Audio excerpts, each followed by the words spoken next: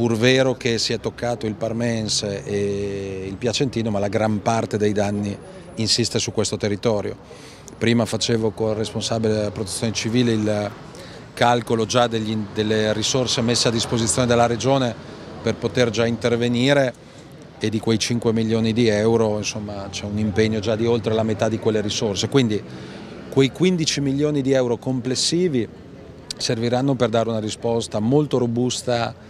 alla, chiamiamola, ripartenza. Dopodiché eh, il secondo punto che il governo ha già,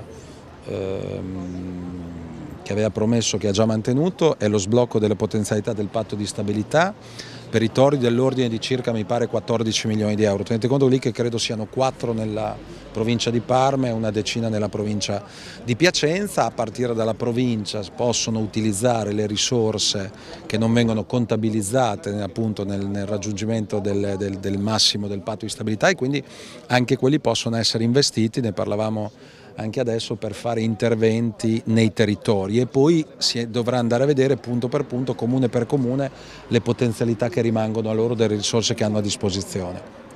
Dall'altra parte eh, ci sono alcuni interventi, ad esempio qui a, adesso nella frazione qui di Piacenza discutavamo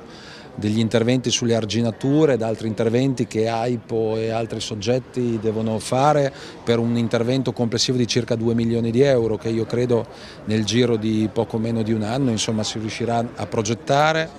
ad appaltare e a realizzare. Stavamo guardando com'era, se fosse eventualmente possibile, eh, sostenere l'affitto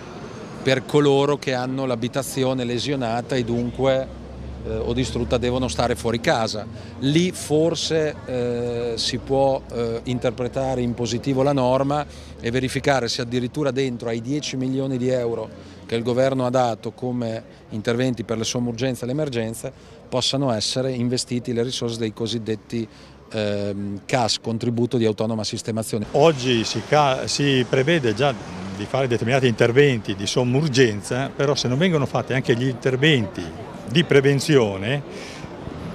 si fa poco, ci sono i detriti dentro nei fiumi che sono tanti e creano dighe, ci sono anche i ponti che sono caduti, ponti che sono dieci anni che diciamo che sono danneggiati, finalmente che poi eh, sono caduti e hanno creato danni anche dove non ci sarebbero stati, quindi eh, tipo il villaggio di Barberino, tipo altri ponti su Ferriere, ecco questo poteva essere evitato. Quindi,